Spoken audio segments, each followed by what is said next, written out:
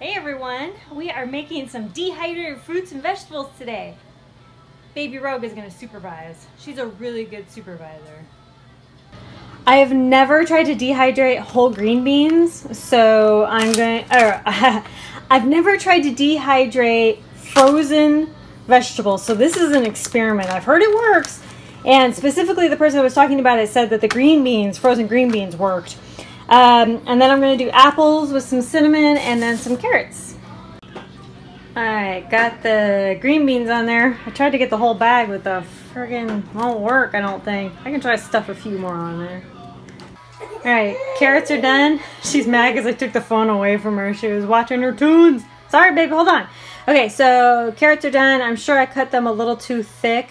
Um, but, uh, you know, this is experimentation. Of course, you know, there's smaller ones. These are going to be done first before the bigger ones and all that stuff. But this is all experimentation. I've never done carrots, never done green beans. I have done apples. Okay, baby, hold on. Sheesh. What, do you want this? Do you want this? Want the phone? The phone? Oh, in the mouth.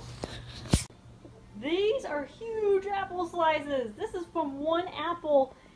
And I that's that's still from the same apple. I haven't even finished it. I cut that one up to eat myself. But uh yeah, I'm gonna have to do I didn't think I was gonna use this last tray, but I totally am. Crazy. So step one survival uh, put uh, did some dehydrating and he did cinnamon on his apples. I've never actually dehydrated apples with cinnamon, but I decided to do just um, one um, one with the cinnamon and one without. I love cinnamon though. Cinnamon I try to put in everything like cookies, my shakes, all that kind of thing. Because cinnamon is so good for you in so many ways. So um, anyway, so we're gonna go ahead and get this going. Another part of this experiment is uh, rehydrating the uh, vegetables down here and see about rehydrating them, see how that works. So um, yeah, these will all have different times and stuff, so I will pull the racks out when they're done, you know, each individual rack.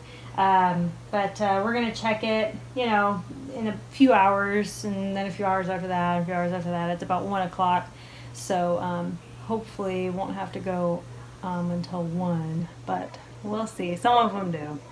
Like carrots, I think, may have to be pretty long, but we'll see.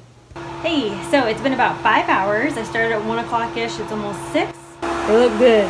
They look really, really good. See how the carrots look? Carrots might take a little bit longer, but the beans are pretty much, look, the carrots are falling through. Uh, the beans are pretty much done almost, and then the um, the apples are pretty much almost done too. Just gonna give them a, maybe another hour or so. But the beans, I don't know, those really look done to me. No, I just took another look. They're not done. They're not done. No, definitely still moist. Still need a little more time, but yeah, a couple more hours, two, three more hours for some of them. So you everything goes.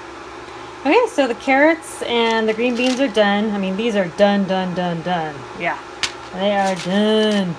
And uh, so the whole point of these is what I would do is if I were to take these anywhere, camping, whatever, these I would rehydrate to like mix with whatever I have with me. So mixing it with, you know, um, rice or mixing it with beans or mixing it with whatever, you know, as a side dish, something like that.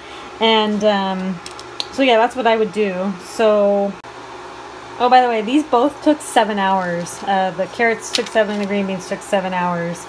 Uh, yeah. All right, the apples are done. Um, the taste test, we've already tasted it. It's so good. I used Fuji apples and with a little bit of cinnamon. Mmm. It's so good. But, uh, yeah, it took, um, mm, about eight hours to fully do the apples. They were pretty thick slices. Well, they weren't thick, they were big. But, uh, these won't last very long at all. I love apple um, okay. So now we're going to do the taste, the test of, um, actually the next video will do, be a test of actually rehydrating the um, vegetables. So stay tuned for that, and I'll see you later. Bye.